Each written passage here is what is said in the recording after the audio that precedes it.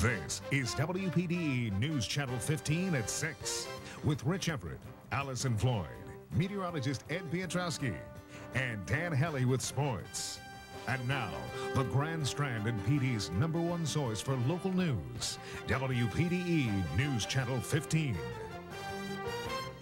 Welcome back. Well, residents in the Pee Dee are now facing possible flooding from the